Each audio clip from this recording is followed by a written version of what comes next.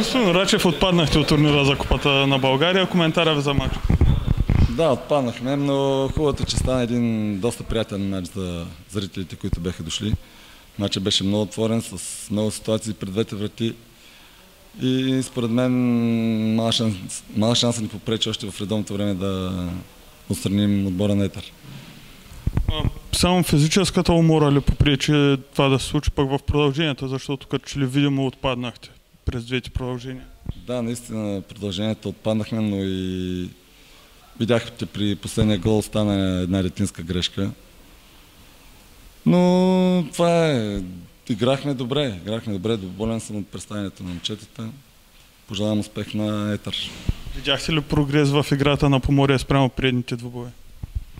Спрямо последния, предните двубои също играхме добре, с изключение на последния, който загубихме от Дунав, но днеска беше да, корено различно. Ще продължи ли Поморие да успява поне да отбелязва създадените положения днес два гола?